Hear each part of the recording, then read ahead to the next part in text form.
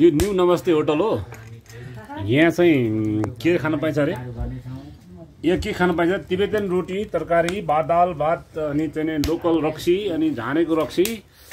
अनि त्यसपछि लोकल कुखुराको मासु अन्डा मुस्ताङ रक्सी ए मुस्ताङ कफी अनि चाहिँ यो आगो ताप्न पाइन्छ यहाँ मजाले। हामी आगो तापिरहेका छौँ कुमार सर चियाको चुस्की लिँदै हुनुहुन्छ। कुमार सर यहाँनिर टिकारा दुलाल सर हुनुहुन्छ। आदरणीय व्यक्तित्व हुनुहुन्छ उहाँ।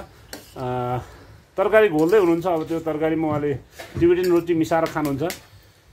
उहाँ हाम्रो दिनेश नेपाल सर हुनुहुन्छ।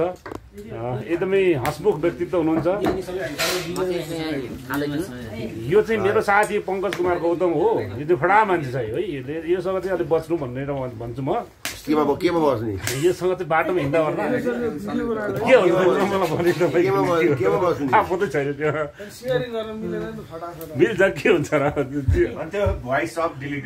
Voice Dhruv sir अनि त्यहाँने त्यो ईश्वर सर हुनुहुन्छ हो स्पेसल रोटी ध्रुव सरले रोटी देखाउँदै हुनुहुन्छ अँ, अझै अझै मैले जुम गरेर राख्छु रोटीमा अह, ल अब त्यसपछि हाम्रो प्रकाश भाइ।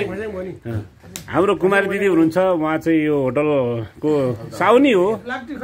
अनि असाध्यै राम्रो गीत गाउनुहुन्छ। तपाईँहरू आउनुभयो भने यहाँ दोहोरीको पनि मजा चाख्न पाउनुहुन्छ।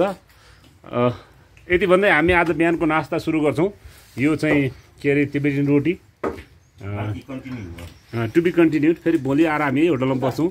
उहाँको न्यानो माया हामीलाई रहिरहनेछ।